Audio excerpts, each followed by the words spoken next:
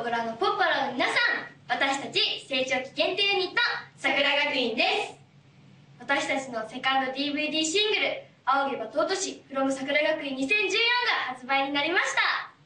この「仰げば尊し」はベーシストのケンケンさんにアレンジしてもらったんですけど「あの仰げば尊し」っていうとやっぱりちょっと卒業のなんか卒業の結構有名な定番の歌なんで寂しい感じにもなるんですけど、でもこの「仰げば尊し」はすごいケンケンさんがロックでとっても盛り上がる曲にアレンジしてもらって最後まで笑顔で歌える曲だなと思っています。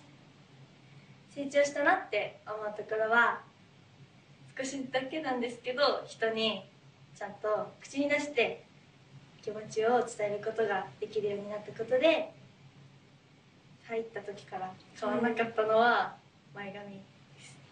はいそして私が成長したなって思うところは K さんに伝えようとする気持ちが強くなったところです。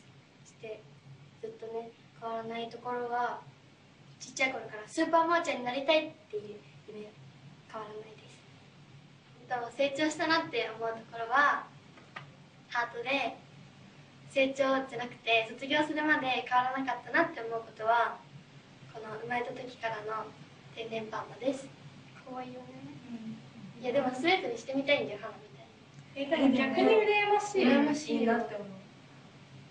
はい。えっとゆなのが桜に入って変わったことはあのトーク委員長になってトークをすることがとっても楽しくなったことです。